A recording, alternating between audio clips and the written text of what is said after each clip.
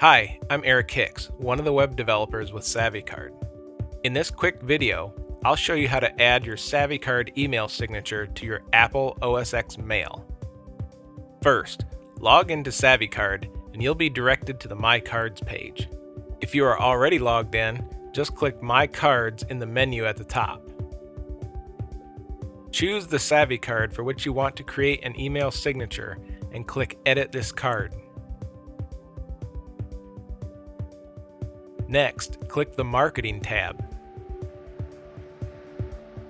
Then click Generate and Download Signature.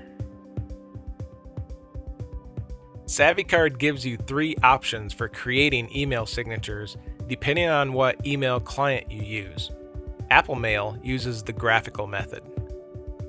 We are going to select the email signature graphic and copy it to the clipboard.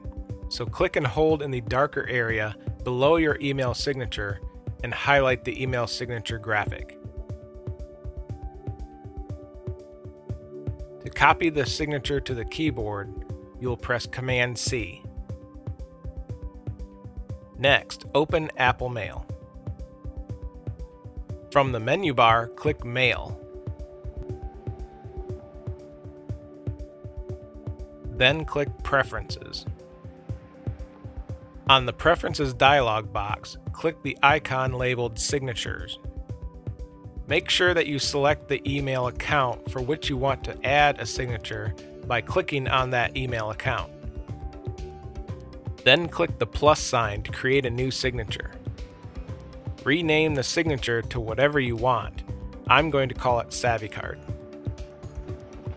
Next, remove the text that automatically displays. If you'd like to add some text to your email signature, this is where you do it. But for this example, I'm just going to display my SavvyCard email signature by itself. Make sure the cursor is in the text area and press Command V to paste your SavvyCard signature. Now close the Preferences window. Verify your signature is working, simply click the Compose New Message icon to create a new email. You'll notice that your SavvyCard email signature is at the bottom of your email. Thank you for watching this video, and thank you for using SavvyCard.